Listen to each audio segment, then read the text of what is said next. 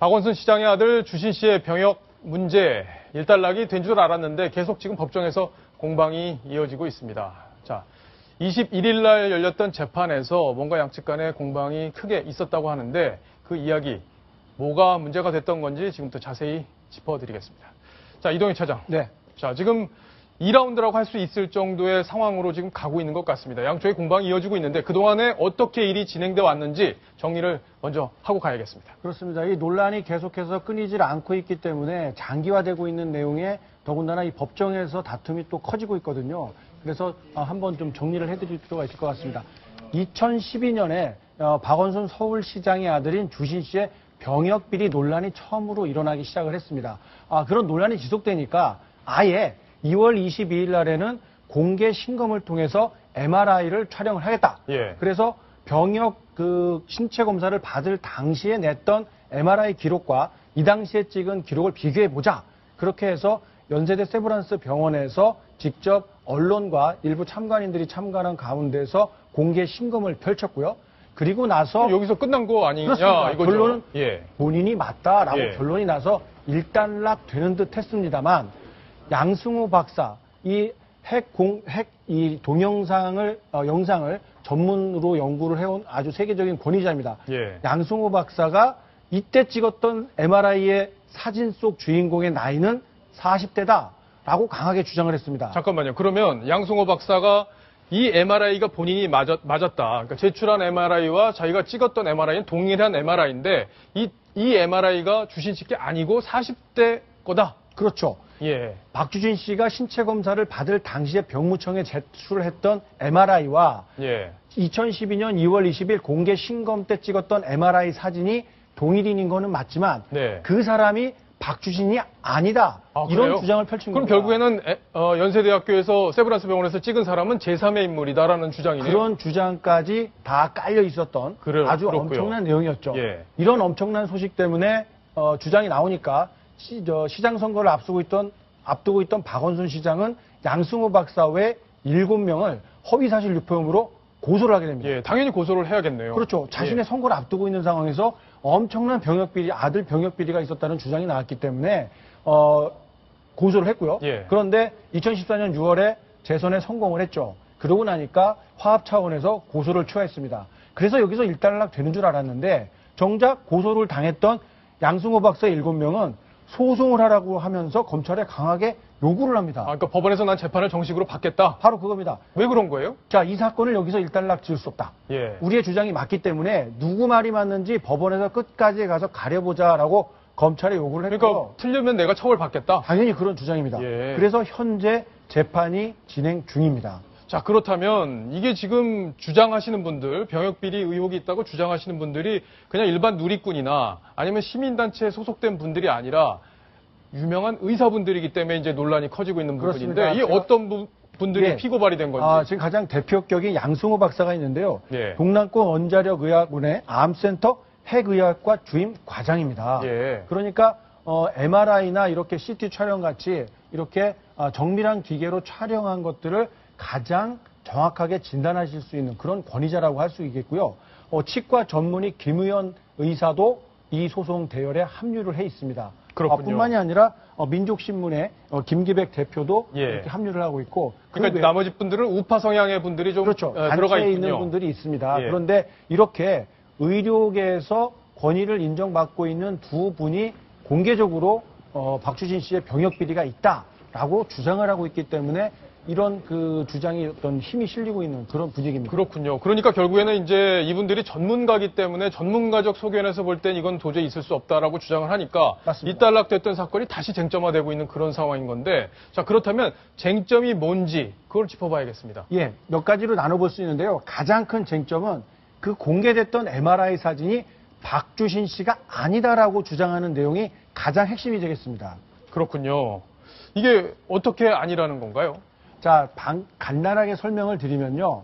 이 박주진 씨는 이 병역 처분을 이제 그 공익요원으로 처분을 받은 과정에서 이 MRI 사진을 제출을 합니다. 예. 그러니까 허리가 좋지 않다라고 해서 병무청에 MRI 사진을 제출을 해, 해서 어, 병역을 이제 가볍게 받지 않았습니까? 예. 그런데 2012년에 다시 공개 신체 검사를 받는 과정에서 저렇게 찍어가지고 공개가 됐습니다. 그래서 어, 병역 검사 때 냈던 사진과 예. 2012년에 찍었던 사진은 같은 동일 인물이다라고 연세대 세브란스 병원에서 확인이 된 거죠. 발표를 했습니다. 예. 그런데 이렇게 양승호 박사 같이 이렇게 바- 어, 의구심을 갖고 계신 분들은 그 두 사진이 동일 인물인 거는 맞지만 예. 그날 사진을 찍은 사람은 제3의 인물일 가능성이 높다. 그러니까 이 골수가 주장을 하고 있는 거죠. 20대 골수가 아니라 30대, 40대에서 나오는 골수다. 그렇죠. 이런 주장을. 전문가들이 봤을 때는 본인과 같은 전문가들이 봤을 때는 예. 이런 MRI 사진을 딱 보면 골수의 농도나 어떤 색깔 이런 것들을 봤을 때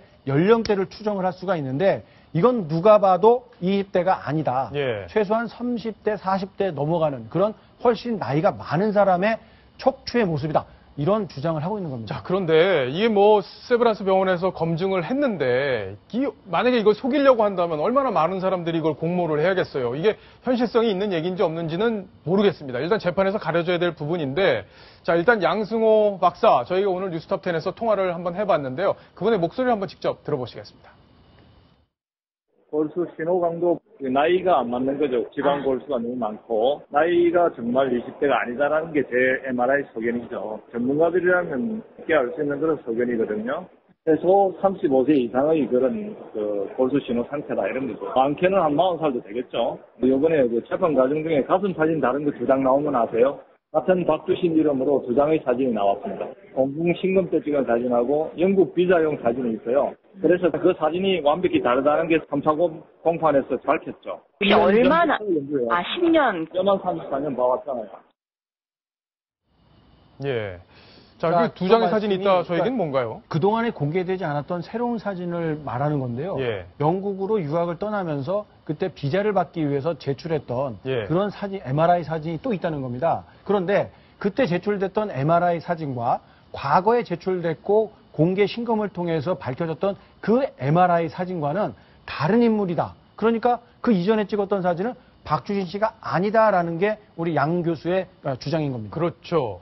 자, 그런데 보니까 이 양 교수뿐만 아니라 연세대학교 소아외과의 한석주 교수. 아. 이분도 지금 이번에 증인으로 재판에 출석을 해서 양 교수 쪽의 주장에 힘을 실어줬단 말이에요. 예, 한석주 교수는 이 나영이 사건 때 주치를 맡아서 인공 항문을 수술해줬던 소아외과 전문가 권위자입니다. 현재 연세대 세브란스 병원에서 소아외과 과정을 맡고 있는데요. 이분이 증인으로 채택이 돼서 법원에 간 게 아닙니다. 어, 법원에 방청을 하러 갔다가 예. 그 자리에 있는 게 확인이 돼서 어떤 반응을 보였기 때문에 즉석에서 증인으로 채택이 됐고 아, 그랬군요. 본인이 나 흔쾌히 응하겠다, 증인은 응하겠다라고 해서 그날 법정에서 몇 가지 진술을 했는데요. 예. 이분이 어떤 분이냐면요. 애초에 2012년도에는 본인이 직접 나서서 박원, 그 감사원 토론 게시판에 글을 올린 분입니다. 네. 박원순 시장은 즉각 사과하라. 아들의 병역 비리에 대해서 사과하라. 이런 공개 논란에 불을 지폈던 분인데요.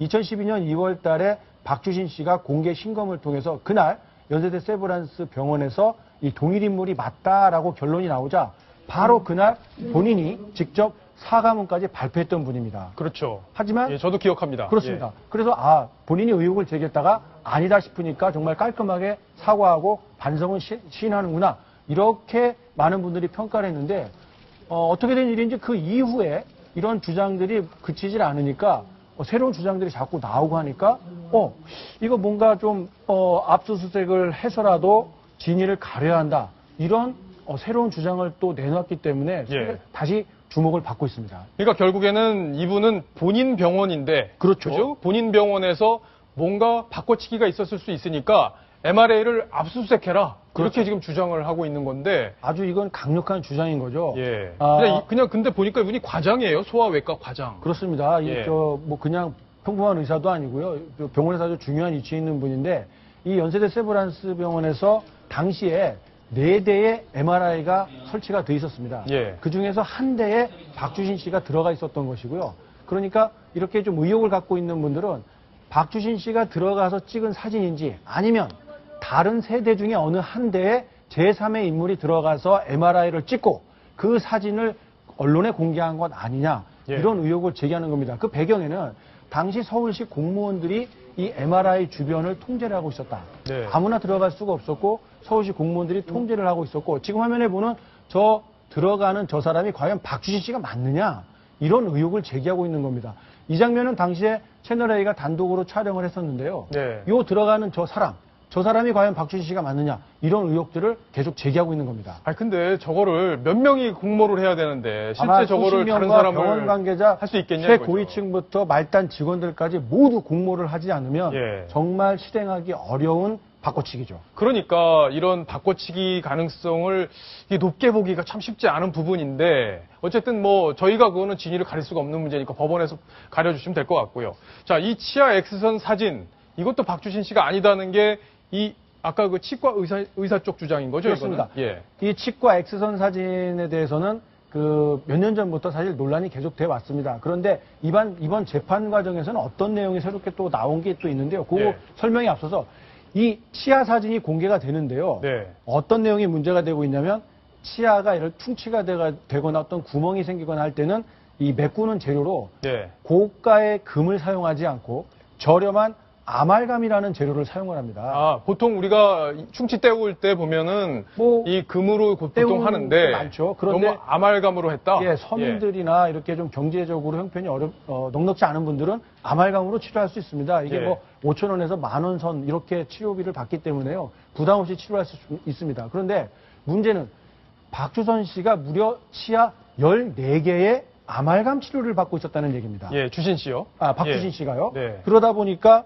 어, 이게 과연 박주신 씨가 맞겠느냐. 더군다나 어, 보철 재료가 들어가 있었는데요. 보철이요. 그렇습니다. 예. 이 교정을 하기 위해서 쓰는 그 보철 재료가 들어가 있었는데 이 당시에는 잘 쓰지 않는 그런 아주 그 전문가가 했다고 보기 어려운 이런 시술이 돼 있었다라는 게 치과 전문의들의 지적입니다. 아, 그렇다 그러니까 보니까 그 당시에 쓰던 보철이 아니라 그 한참 전에 쓰던 그렇습니다. 낡은 옛날 기술이기 때문에 이거 심하게 말하면 이거 전문가가 아니라 민간인이 그냥 대충 한 거 아니냐. 예. 그런데 박주신 씨가 어, 당시에도 뭐 엄마 아빠가 어머니 아버지가 다 그 재력이 이렇게 없는 분들이 아니었는데 과연 이런 저렴한 아말감으로 치아 우리 14개나 치료를 받았을까? 예. 그런 의구심을 갖게 되는 아니 뭐 그거야 뭐 아말감으로 치료 받을 수도 있는 거죠. 받을 수도 예, 있죠. 받을 수도 있는데 단순히 싼 걸로 했다고 의혹을 제기한다는 것은 조금 뭐 이상하게 보일 수 있는데 그래서 오늘 김우현 어, 원장님과 제가 직접 한번 통화를 해봤습니다. 그 목소리 한번 들어보시겠습니다. 아말감인지 다른 치료인지 엑스레이 아, 아, 보고도 그, 알수 있나요? 그거는 그렇죠. 박주신을 치료했다는 치과 의사가 있잖아요. 네. 그 사람도 다 인정을 했는 거고요. 아말감이라고. 아버지가 변호사고 대학교까지 나왔고 서울 중산청에 아말감을 했으니까 그것뿐만 아니라 브리직하는 거 있잖아요. 들어봤죠? 보철물이 요즘에 그렇게 거진하지 않는 그런 보철물이거든요. 옛날 거라는 건가요? 하셨다 하시는 선생님이 그죠? 서울대학교 나오시고 외국에서 공부도 어떻게 하셨는 분이 그런 거를 보철물을 했다 하니까 이상한 거죠. 근데 네. 그 문제가 뭐냐 하면은 문 치과에서 2005년 7월 19일에 처음 치료를 시작을 했다고 차팅이 돼가 있거든요. 네. 그때 보험 청구했는 번호하고 그다음에 심평원에서 지금 문 치과가 보험 청구했다고 보냈다 왔다 하는 그 번호하고 다르거든요. 왜 그런 예. 거죠? 2005년 7월 달 같은 경우에는 보면은 지역 번호로 나오거든요. 21 뭐뭐로 시작하거든요. 네네. 그런데 박주 씨는 한 번도 지역으로 가입된 적이 없거든요. 그게 어떻게 달라요? 근거 자료가 있나요? 예, 그런 것들은 법원 자료에서 다 나왔는 거죠. 그러면 다른 사람 거라는 의미잖아요. 그렇죠. 그런데 신병원에서는 보험증 번호나 나머지 치료했던 거 이런 것들을 하나도 수정을 안 한다 했는데 청구 있는 그대로 해가지고 치료가 맞는지 안 맞는지 그것만 평가한다 했는데 그 자체가 다르니까 저희들은 의심을 하는 거죠. 이런 얘기들이 예. 근거가 없어요, 저희한테. 자료는 예, 예. 다 있죠. 신평원에서 네. 있기는 법원을 통해 우리가 다 받았는 거죠. 우리가 뭐 말로만 하는 게 아니고 근데 뭐 제가 올해 통화를 하면서 이제 계속 근거 자료가 있는지에 대해서 계속 물었는데 결국에는 이제 번호는 공개를 하더라고요. 그 네. 번호가 어떻게 다른 건지 이동희 차장이 좀 정리를 해주시죠. 예, 어떤 내용이냐면요. 2005년도에 어, 박주신 씨의 치아를 치료했다는 문모 치과의 청구 내역 번호가 이렇게 되어 있습니다. 그러니까 예. 박주신 씨의 건강보험 번호라는 거죠. 네네. 그러니까 그 당시에 그 지역이나 아니면 회사나 뭐 이런 어떤 그 소속이 돼 있는 건강보험 번호에 의해서 청구가 됐을 텐데 정작 2005년도에 청구했던 그 건강보험의 번호가 확인해 보니까 2011년 박원순 시장이 취득한 지역 건강보험의 번호였다는 겁니다. 아, 그러니까 2005년에 청구한 번호인데 2011년에 그렇죠. 취득한 번호다. 그러니까 이건 누군가가 조작을 하지 않고서는 이런 예. 결과물이 나올 수 없다. 그래서 건강평가 심사원에서도 어떤 조작이 있었던 것 아니냐 이런 의혹을 제기하는 겁니다. 그래서 이 심평원 어, 원장께서 연세대학교 세브란스 출신이던데 이분이 이 증인으로 채택이 됐더라고요. 예, 증인이 채택돼서 법정에서 또 새로운 사실이 공개가 됐는데요. 어, 2012년도 공개 검진을 하게 된 데는 바로 어, 심평원장 손명세 어, 박사의 예. 그런 조언이 있었다는 겁니다. 그렇죠. 예, 아. 워- 그 박원순 시장이 당시에 전화를 걸어서 어떻게 하면 좋겠냐 상의를 했고 어, 공개 검진을 받아보자라고 이렇게 제안을 했고 그 장소로는 당시 어, 자신이 근무하고 있던 연세대 세브란스 병원에서 하는 걸로 이렇게 교통정리가 돼 있었고요. 이분이 박원순 시장의 경기고등학교 1년 선배이면서 함께 웅변부 활동을 했을 정도로 아주 막역한 사이로 알려져 있습니다. 예, 그럼 이분이 증언대에 서서 어떤 얘기를 했나요? 예, 이런 내용도 공개가 됐고요. 네. 어, 뭐 양쪽에서 다 질문이 들어왔는데 그거에 대해서는 명확치 않다. 우리는 어, 상, 그 해당 의료기관에서 올라오는 대로 입력을 하기 때문에 자동으로 처리가 되기 때문에 어, 조작이라는 건 있을 수 없다. 이렇게 하면서 의혹을 반박을 했습니다만 어, 이렇게 번호가 완전히 엇갈리게 나오고 있기 때문에 예. 계속 의혹이 쉽게 사그라들진 않고 있습니다. 예, 뭐 착오에 의해서 번호가 틀려졌을 뭐 가능성도, 가능성도 있기 때문에. 무조건 번호가 다르다고 해서 조작이다 이렇게 보기는 좀 어려울 것 같고요. 그렇죠. 단순한 착오일 가능성도 배제할 수는 없습니다. 예. 왜냐하면 뭐 전산 오류라는 것들은 언제나 일어났고 지금도 일어나고 있을 수 있기 때문에 어, 단순히 이렇게 번호가 아예 없는 번호가 아니라 박원순 시장이 진짜 가입을 할수 있던 번호였기 때문에 어떤 전산적인 착오일 가능성도 배제할 수 없습니다. 예. 자, 그러면 박원순 시장 입장에서는 상당히 불쾌할 것 같습니다. 왜냐하면 다 논란이 종식이 된 걸로 알고 있는데 이렇게 논란이 계속되고 재판까지 진행이 되고 지금 판사는 박원순 시장과 아들을 증인으로 채택을 했죠, 했잖아요. 그렇습니다. 예, 그래서 이제 소환 조사 가능성도 지금 얘기가 거론되고 있는데 박원순 시장 아, 새누리당 의원의 질의에 대해서 불편한 심정을 밝힌 적이 있는데요. 직접 한번 들어보시겠습니다.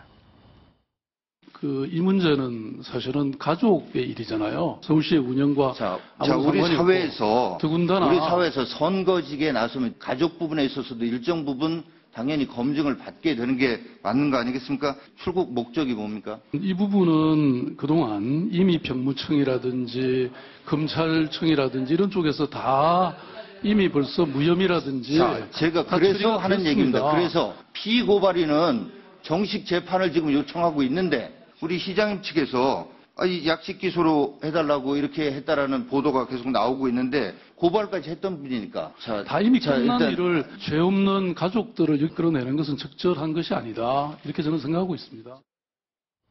다 끝난 일을 죄 없는 가족까지 불러낸다는 것도 박원순 시장 입장에선 상당히 불쾌할 수밖에 없는 일일 것 같은데 여기 이- 어, 거론되는 분들 그러니까 처음에 병무용 진단서를 발급해준 병원 그리고 조금 전에 얘기했던 손명세 원장 그리고 문치과 그리고 연세대 세브란스 측의 MRI 촬영 기사 박원순 시장 이런 이런 사, 회적으로 저명하신 분들이 다 공모를 해야 이런 일이 벌어질 수 있는 건데 현실성이 좀 낮다 이렇게 볼 수도 있겠어요. 자, 이분들 한 명, 뭐, 좀 다섯 분만이 아니라, 심평원에서도 직원들 여러 명이 동원이 됐어야 됐을 테고, 예. 자생병원에서도 찍는 사람, 서류 관리하는 사람, 마찬가지일 테고요. 치과에서도 마찬가지고, MRI 촬영했던 분도 마찬가지입니다.